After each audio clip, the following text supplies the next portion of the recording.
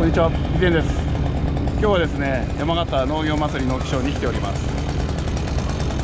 あの、さ出店企業の日本天才政党の、えー末永さんから応援いただいております。今日も頑張ります一言お願いします。リレーさんのために力を尽くしますよろしくお願いしますうちのためじゃなくて、農家さん農家さんのため 今日も一日暑いですがよろしくお願いしますよろしくお願いしますじゃあねあのー日展さんの出店機会を見てみましょう。じゃあ紹介お願いします。はい、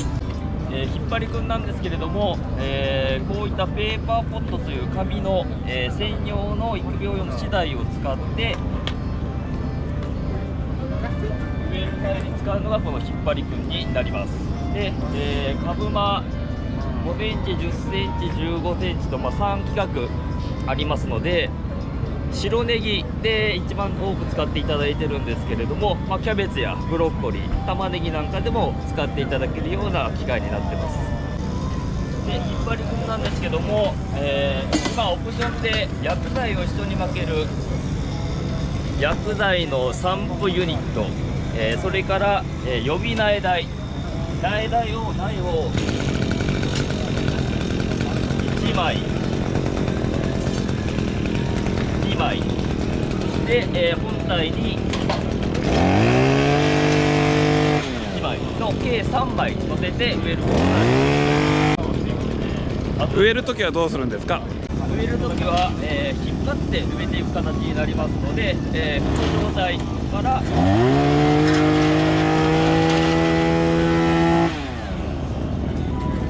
植えていくことで、えーここに苗箱を切ってポットを出してこの部分で植え付けをしますでこれはみ同時に溝も切れるんですねそうですね。あとこの下の部分に溝切りがありますので、一つの作業が溝を切る。はい。えー二つ目が植え付けをする。はいで三点目が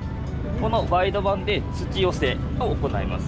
で最後4点で、えーここは鎮圧になってますので、えー植えたもので土寄せたものを鎮圧するも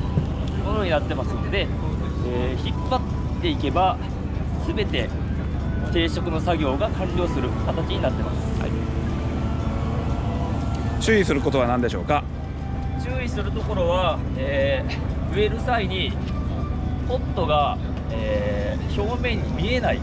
ていうところを気をつけていただきたいと思います。でポットが、えー表面に出てると紙の、まあ、性質で、まあ、水分をこう蒸散する作用っていうところが一つ大きいところと、えーあとカラスだったり、まあ鳥害のところで、えーポットをつついて上に出してしまうっていうところがありますので、えーしっかりポットが見えないように土をかぶせてもらうというところを気をつけてもらいたいと思います。末永さん出身はどちらですか？出身は福岡です山形の担当になって何年目ですか？えーと今年で5年目になりますね。他に何か言いたいことはありますか？まあ、ペーパーボット関連は、まあ、セルトレーと同じように、まあ、育苗するという形なんですけれども、えーまあ、紙でできているというところで環境にも配慮した、えー資材になっておりますので引っ張り分なんかも人力で引っ張っていきますんで、えーまあ、お年寄りでまた女性の方、えーまたはまあ子供の方でも、えー引っ張って定食が簡単にできていきますので、えー皆さんぜひとも引っ張りくんチェーンポットの方よろしくお願いいたします。はい、